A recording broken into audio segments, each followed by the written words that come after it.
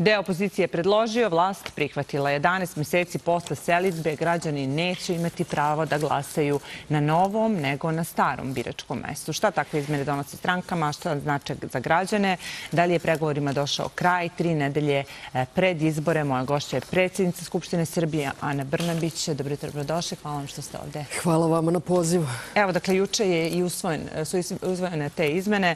Šta one zapravo sada predviđaju? E, vidim da u vašoj poslaničkoj grupi, odnosno u Srpskoj naprednoj stranci, e, baš nisu baš oduševljeni izmenama. Pa nismo, blago je reći, oduševljeni tim izmenama.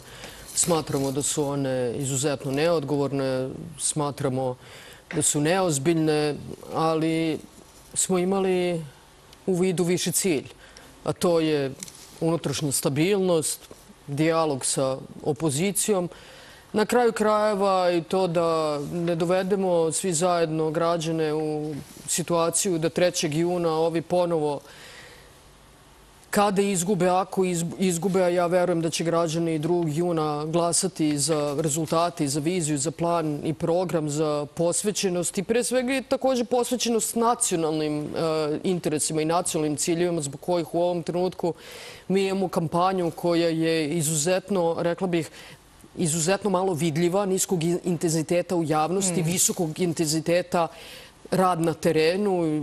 Ja sam danas nešto e, relaksiranije obučena zato što iz studija idem da pomognem našim aktivistima da razgovaramo sa građanima, da obilazimo ljude sa velikim zadovoljstvom. Eto, izvojila sam malo vremena, ali zbog različitih nacionalnih pitanja mi ne možemo dovoljno da se posvetimo ovoj kampanji, posebno predsjednik Republike Srbije Aleksandar Vučić.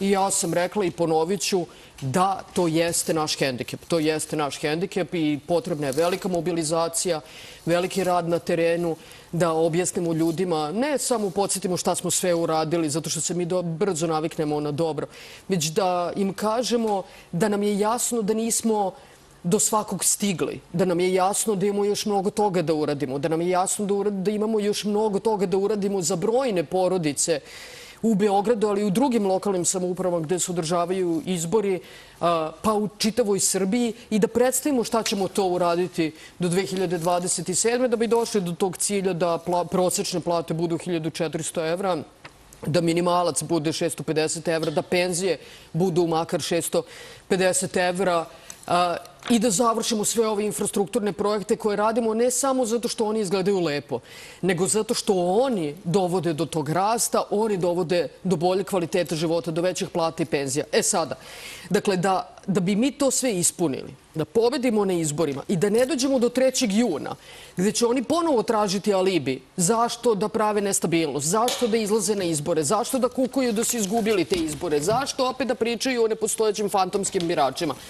Zarad svega toga mi smo, rekla bih, zapušili nos i podržali smo taj njihov zahtev i taj prijedlog zakona. Oni su bili predlagači, glasali smo za to. Dakle, ne možete više reći čak ni da ima fantomskim glasača, da je bilo naseljavanja. Kažu iz tog dela opozicije koji su predložili ovaj zakon, kažu da ste vi time što ste prihvatili to priznali da je zapravo bilo prekrajanje izborne volje. Upravo suprotno. Upravo suprotno. Mi smo priznali ukazali svima da nije bilo nikakve krađe. Jer da smo bilo šta mi radili, što nije u skladu sa zakonom, da smo imali bilo šta da krijemo, pa mi bi rekli da li ste vi normalni, pa to je ovaj zakon, nije u redu. On je granično je da li je u skladu sa ustavom ili nije. Dakle, imalo bi sto stvari koje bi mogle potpuno argumentovano da se stave na stoji da se kaže, pa znate šta, ovo ne može i mi za ovo nećemo da glasamo. Ne, ovo upravo pokazuje da mi nemamo šta da krijemo da nije bilo bilo kakve krađe, da nije bilo bilo kakvih fantomskih glasača i bez problema smo rekli, ok, u redu, hoćete 12 meseci, ja sam rekla, to je sramotno, zato što je prvo je standard Venecijanske komisije 6 meseci, drugo, ne može retroaktivno, hoćete retroaktivno, zato što je vama palo na pamet 12 meseci, tako ste mogli da tražite 13 meseci, 24 meseca, 72 meseca, kako ovaj- god. I tako se na kraju krajevo ispostavilo, onda su, mi smo rekli maksimum 8 meseci, oni su se i vratili na konsultacije, posle 40 minuta međusobne konsultacije i konsultacije sa crtom i ostalima, vratili su i rekli dobro 11 meseci. Kao da smo na pijaci, mi smo rekli aj okej, stvarno, na pijaci nismo. Ovaj drugi deo opozicije kaže da ni to nije dovoljno. Kažu da ni to nije dovoljno. Iz ovog drugog dela opozicije, oni su ovog dela koji je rekao da neće izaći na izbore u Beogradu, e, oni kažu da je trebalo mnogo više da se uradi od toga, pa ajde da pre nego što to prokomentarišemo, samo pogledamo jedan video. To je e, Marinika Tepić, taj video. Na taj video, mislim, samo obratite pažnju da pustimo pravi. E, broj 3, dakle, Tepić, Stefanović, komisija. Fantomski birači se, gospodo, rešavaju tako što se vidi ko je sve dobio prebivalište od 1. januara 2018. godine, da se uporedi gde ti ljudi primaju plate, gde im deci idu u škole, gde su zaposleni. Za one koji se utvrdi da nešto nije u redu, policija uz prisustvo posmatrača ide da proveri da li tu zaista žive. Mi što smo tražili i što tražimo, a što će vas sačekati, gospodo, neće pobeći od vas, verujte. Mora se uzeti ceo spisak. Mora se videti ko je upisan posle 2018. 1. januara. Mora se videti gde primaju platu, plaćaju porez, gde se leče, gde im deca idu u obdanište. Mora se otići na adrese, ali ne samo policajac, pošto se to pokazalo da ne funkcioniše, već komisija u kojoj će biti predstavnici ove radne grupe, recimo. Evo, dakle, ko je taj koji bi mogao da ide tako po kućama i da proverava sve ove podatke? Ali ovo je skandal. Ja ne znam koliko ljudi razumeju koji stepen skandaloznosti je ovo. Zamislite, vi imate ljude koji pretenduju da ne dođe na vlast, da se vrati na vlast. Jer ovi ljudi su bili na vlasti 12 godina, od 2000. do 2012. Sve su pokazali i sve su građani mogli da vide šta oni znaju i kako umeju da vode zemlju. Pa smo ostali bez 500.000 radnih mesta, pa je nezaposlenost prešla 26 procenata, nezaposlenost mladih prešla 51 procenat, pa smo bili na začelju ne Evrope, Evropske unije, nego Zapadnog Balkana po platama i penzija, ali je jedni od najboljih po stopi nezaposlenosti. Danas ti ljudi, zarad sobstvenih interesa, sobstvenog donjeg dela leđa, izađu i kažu kad mi dođemo na vlast, nemojte da pogrešite, to će vas sačekati. Mi ćemo da idemo i da utvrđujemo gde se vi lečite, gde vam deca idu u obdanište i to ne samo policija, već i posmatrači. Znači, to su oni stranci kada su izlobirali nakon izbora 17. decembra za onu njihovu rezoluciju Evropskog parlamenta gde su rekli stranci da dođu da ispituju naše građane i da idu u te terenske provere po kućama. Ja sam tada pričala da je to skandal, pa su oni rekli ne, to ne bi bilo tako. I evo danas vidite da bi to bilo baš tako i da oni od toga ne odustaju. Da kada, ukoliko bi se ikada vratili na vlast, da bi oni to sprovodili. Pa i na lokalnom nivou. Ovo se tiče i lokalnih izbora. Dakle, da oni osvoje neku lokalnu samoupravu, oni bi, jeli, kao predsjednici opština, gradonačelnici, tražili birački spisak, pa bi oni krenuli po toj svojoj lokalnoj samoupravi, kuc, kuc, dobar dan, a gde se vi lečite? Zamislite ste onkološki bolesnik. Pa lečim se na Institutu za onkologiju u Beogradu. A što ne u Nišu? A gde vi u stvari stanujete? A gde vam dete ide u vrtić? Zamislite, to su ljudi koji sebe nude građanima. Oni kažu, mi hoćemo dođemo na vlast. Da bi kome bilo bolje? Građanima bilo bolje? Pa neočigledno da bi samo njima bilo bolje. Jel vi mislite da ovi ljudi misle u bilo kom sekundu u jednom danu o građanima? Ne, da misle, nikada ovakve stvari ne bi mogli da izgovore. Kao i ovi drugi koji su kao sada druga strana opozicije, ako smo juče čuli da nema bojkota, i jedni su se drugima i zahvaljivali srdačno, zato što su uspjeli da i oni građani koji žele bojkot i oni će imati za koga da glasuju zato što i bojkotaši izlaze na izbore. Koliko god paradoksalno to zvučalo. Ali ono što je meni bilo neverovatno kroz čitave ove pregovore u Skupštini, to je koliko njima do građana ni malo nije stalo. Ja kažem, ali ljudi, vi razumete da se to nije dešavalo. Evo vam birački spisak, pogledajte ti, ti, ti brojevi premeštanja, promjena adrese kada se ljudi presele su no, domen statističke Koliko je tih ljudi, evo, u poslednjih 11 meseci koji neće moći da glasaju na novom? Bukvalno sam na sastanku tri puta ponovila. Vi, zarad vaših strahova, mi sada ne koljemo vola za kilo mesa. Mi koljemo 10 volova zarad 100 grama mesa. Dakle, toga nema. Vi imate Bukvalno tu imate oko 65.000 ljudi u čitavim, u, svim lokalnim samoupravama. Mhm, koji su menjali recimo u posljednjih 11 meseci? U kojima se održavaju izbori da su promenili u posljednjih 11 meseci. U gradu Beogradu imate ja mislim nešto oko 27-8 hiljada ljudi, od čega samo 8 hiljada, 8,5 hiljada ljudi da je došlo van gradskih, van Beograda mhm. u Beograd. Sve ovo ostalo je Čukarica, Voždovac, Voždovac, Palilula. I ti, i, ti maltretiraš sve, svi, svih tih 65 koliko hiljada ljudi. Da, da. Zarad sobstvenih strahova ti nekim od njih uskraćuješ pravo glasa, zato što ćeš neke vratiti, otprilike 10.000 ljudi neće moći da glasa, zato što ćeš ih vratiti na one lokalne samouprave u kojima se ne udržavaju lokalni izbori. Mhm. Dakle, ti njima de facto oduzimaš pravo glasa. Svo to vreme, ja kažem, vi krećete, mi krećemo od dve različite premise. Vi krećete od premise da su svi ti ljudi fantomski glasači, oni meni na sastanku kažu da. Vi razumete da oni time vređaju svakog tog čoveka, svakog člana njegove porodice. Ma njih baš briga za građane. Ni u jednom trenutku oni o građanima nisu, nisu pomislili na građane. Oni samo misle o sebi i isključivo o sebi i o tome kako oni da se domognu vlasti. Ko izlazi, ko ne izlazi na izbore i to je o, e, interesantno pitanje bilo proteklih nedelja. Pa ajde evo da vidimo taj jedan deo iz Skupštine Srbije e, u vezi sa tim. Dozvolit ćete mi, predsjedavajuća, to je predsjednice parlamenta, da se pre nego što pređem na temu dnevnog reda, zahvalim kolegama iz eh, SSP-a, iz Srca, iz Nade i svim onima koji zajedno izlaze na istoj listi na izbore u Novom Sadu. To je koliko god koliko god koliko god mi bili različiti imamo zajednički cilj Ma čovjek se izbezumio, mislio da ovi bojkotuju izbore, kad je čuo sada ne bojkotuju izbore, potpuno se čovjek ne, ne zna šta da radi.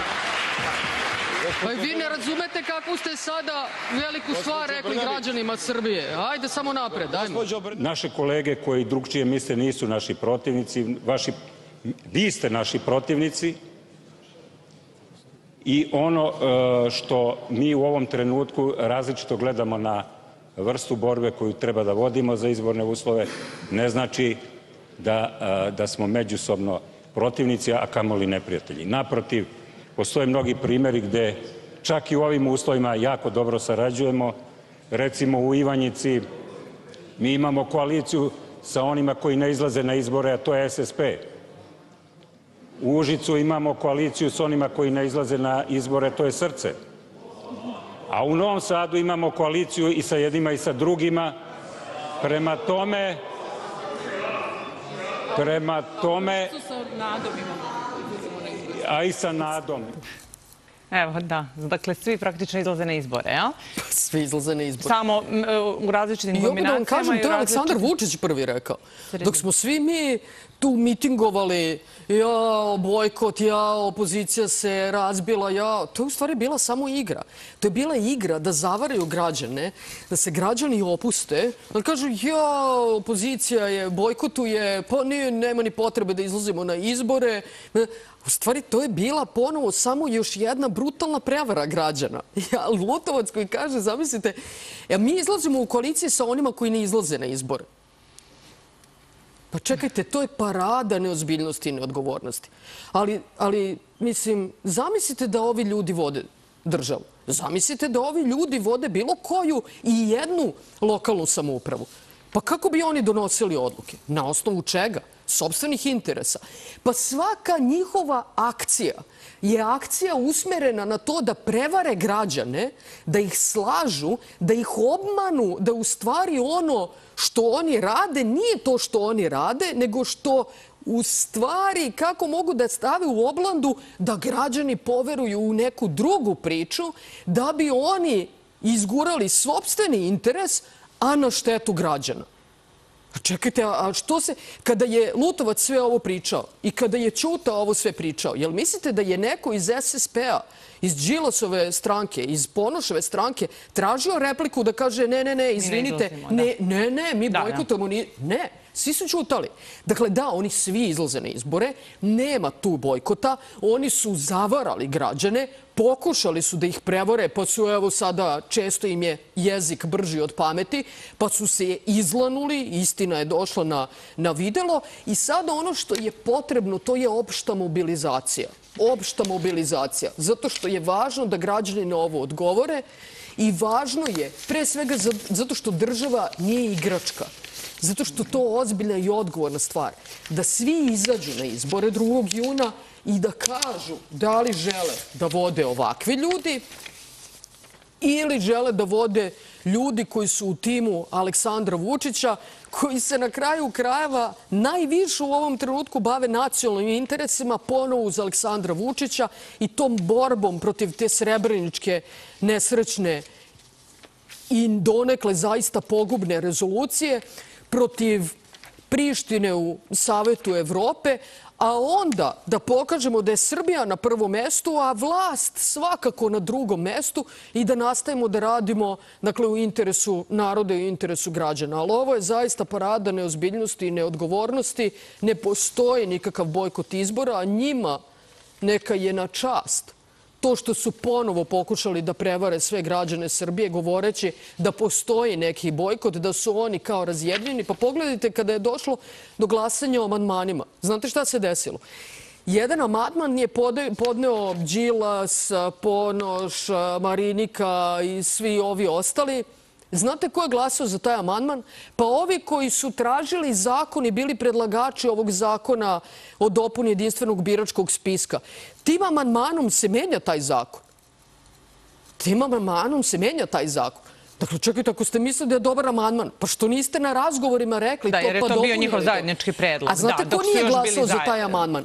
Oni, Đilasov, Ponošev, vi svi ostali, Marinika i ostali, koji su predložili taj amandman? Da, oni su zajedno to predložili. Oni nisu glasali za taj amandman, ali ovi su glasali za taj amandman.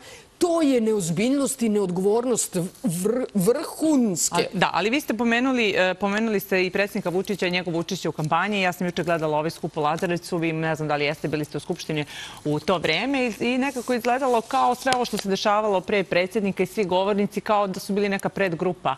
E, pa moje pitanje za vas je šta ćete vi, evo za tri godine predsjednika Vučiću ističe mandat, e, kada on ne bude tu i šta ćete ovih narednih desetak dana da radite e, kada on ne bude mogao da učestvuje u kompanji zbog svega što ste rekli, zbog odlaska u New York i borbe protiv rezolucije o Srebrenici? Ja vam kažem, naša velika sreća pod jedan je što ta lista nosi ime Aleksandar Vučić. Zato što onda ljudi znaju koji su naši principi, koje su naše vrednosti i čime se mi vodimo. I to je svima jasno. I to je ono što opoziciji smeta. Zato što zato što sama ta činjenica da istina nama daje veliku prednost. Nekad pomislim da bi oni, u stvari da se njihova lista zove Aleksandar Vučić, samo da bi uspeli da dođu na vlast, pa kako tako. Uh, s tim što Aleksandar Vučić jeste ozbiljan i odgovoran čovek i takve stvari nikada ne bi uradio i hvala mu što je pozajmio svoje ime našoj listi i time nama stavio nekako dao nam veliki zamajac, eh, ali nam također i postavio standarde i odgovornost koju mi ipak moramo da poštujemo. Što je opet pokazuje građanima da ćemo se boriti dobro. Šta će biti 2027. godine?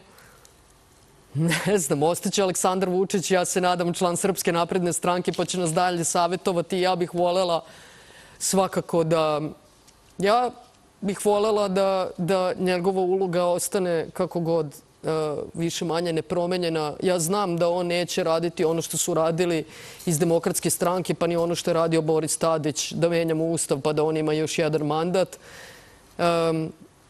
znam da je mnogo ozbiljniji odgovorni. Zbog toga ni nemamo danas e, vlast u Beogradu, zato što smo mi imali matematičku većinu, ali na savjet Aleksandra Vučića koji je rekao, znate šta ljudi, politika nije matematika, nemojte da budete kao oni koji su u Đilasovo vreme varali građane i ponašali se tako da nekog ucene, nekog pritisnu pa imaju matematičku većinu, ali očigledno su ukrali volju građana. Nemojte to da radimo. S druge strane, opet moram da kažem, i da je ono zbog čega mi danas imamo izbore neodgovornost gospodina Nestorovića i svih ljudi u njegovom timu, zato što su se oni ponašali kao da je politika igra, kao da je država igračka, zato što u ovom trenutku umjesto da se još dodatno više posvetimo pitanjima od nacionalnog interesa i pomognemo predsjedniku da Aleksandru Vučiću da se izbori sa svim ovim problemima koje imamo, izazovima koje imamo i pritiscima koje nam nameću i u Savetu Evrope i u Generalnoj skupštini jedinih nacija, da vam kažem, mi se uglavnom, mi se veliki ipak deo vremena, na kraju kraja vidite i kroz skupštinu, samo koliko vremena tu odlazi na izmene i dopune ova dva zakona, mi se bavimo izborima. A ne bi trebali, zato što su izbori prošli i građani su svoje rekli. I mogli smo da imamo većinu. Da, ali ali, treba, ali, ali dolaze izbori 2. juna i ljudi treba ozbiljno da razmotre i ozbiljno da razmisle koliko, kome daju glas i koliko su ti ljudi kojima daju svoj glas i deo svog suvereniteta, koliko su ozbiljni i koliko su odgovorni. Evo, Đorđe Vukadinović jutro kaže da bi bilo ravno čudu da se nas osvoji manje od 50% na narednim izborima. Ali isto tako, gledala sam to, ali isto tako Đorđe Vukadinović priča kako bi mi trebali da gradimo neke puteve kroz koncesiju. Đorđe Vukadinović koji u koncesiji verovatno zna manje nego pravima nacionalnih manjina, a bio je predstavnik nacionalne manjine, opet da bi se on dokupao vlasti. Dakle, vi ovde dozvoljavate i imate različite analitičare, različite kvazi eksperte koji dozvoljavaju sebi da smatraju nešto o bilo kom pitanju. A šta je problem sa tom Pa koncesija na puteve je verovatno najkompleksnija, time naj najproblematičnija način ugovora, ugovaranja zbog međunarodne arbitraže i verovatno najskuplji i najnesigurniji način da gradite puteve za građane Republike Srbije. Ako, su, ako imate građane u interesu, brzinu, izgradnje To znači samo da kažemo građanima šta zapravo znači koncesija. Da dakle, date nekome drugom da, da date nekome drugom, put u vašoj zemlji i, da ubirate prihode sve sa tog puta. To je praktično njihov put nije državni put i nije put građana. To je praktično njihov put dok ga ne isplatite. A mi imamo državu koja je, zahvaljujući Aleksandru Vučiću i fiskalnoj konsolidaciji koju smo imali 2014-15. Jaka, ekonomski stabilna, naš javni dug je samo 47%. Javni dug Evropske unije je preko 90%. Ali ovo Znam da ali ovo mi je zaista mhm, važno. 47%. Mhm. Mi možemo da se zadužujemo. Mi smo na pola koraka do investicijonog rejtinga. Mi imamo dobre, jeftine kredite. To je najbolji način i za to smo se borili da mi gradimo autoputeve i da onda ti autoputevi pripadaju svim građanima Srbije. Odbili ekonomski analitičari i ekonomisti kažu da imate dva eh, puta da uzimate kredite da biste izgradili infrastrukturu ili eh, eh, alternativa vam je da se ne razvijate. Dakle, uzmete kredit da se razvijete ili da da budemo iskreni, naši građani su videli zaista i jedan i drugi put. Ovi, Ponoš, Đilas, Marinika i svi ostali, oni su uzimali kredite da bi u stvari sebe finansirali, davali za potrošnju. Pošto nisu nisu mogli da pokrenu privredu, u stvari su uzeli kredite i od toga davali plate, penzije, troškarili. Trošili smo i ono što nismo imali, trošili smo i ono što nismo mogli da stvaramo. To je bilo do 2012. Videli ste kako se to završilo. Imate od 2012. do danas, imate odgovornu politiku gde uzimate kredite, prvo ste vratili sve one jako skupe kredite, izgradili stabilnost, uzeli mnogo jeftinije kredite i te kredite koje ste uzeli investirali u nešto što donosi dobrobit građanima, što donosi bogatstvo građanima i što se samo otplaćuje i kada se otplati donosi bogatstvo državi. I danas imate ta dva modela, možete da pogledate i da vidite kako je ko vodio državu. E, moje posljednje pitanje u vezi sa izborima i vrlo kratko imamo vremena za druge, ostale dve teme, baš kratko, moramo da ubrzemo. E, dakle, moje posljednje pitanje u vezi sa tim je da li je ovim usvajanjem ovog, ovih izmena juče u Skupštini završena ta priča oko izbornih uslova. Ono što je još ostalo, to je e, ta e, organizacija FERKA, podržali su to i opozicijone stranke, e, traže od Ustavnog suda da se izjasni da li e, predsjednik krši ustav ili ne, zbog toga što učestvuje u kampanji i pozajemljuje svoje ime listi SNS-a. E, je li to nešto... To, e, utisak je da je vlast prihvatila sve uslove opozicije, možda i više nego što su mnogi očekivali ili mislili da je potrebno, ali da evo ovaj uslov da se njegovo ime skloni sa te liste niste, jedino niste to prihvatili. Ne, to nikada nije bio, da vam kažem pod jedan, to nije bio zvanični uslov opozicije ta ferka kao i ti proglasi, to je u stvari, pa to je u stvari undercover, što bi se reklo, opozicija koja ne sme sama da kaže nešto, pa onda naprave te organizacije civilnog društva ili neki konglomerat organizacije civilnog društva, pa su oni njihovi glasnogovornici. E, ali e, pod jedan to nikada nije bilo na stolu. Zašto to nikada nije bilo na stolu? Pa zato što bi bila sramota velika da se to nađe na stolu, zato što ne postoji ni jedan argument koji bi on oni mogli da iskoriste da kažu pa dobro, pa čak ni ti kao taj lažni, kao fantomski birače pa kažu dobro, okej. Ali ovde, evo, jel mislite da ima? Evo vam, nema ni toga. Super, ajmo sad tako.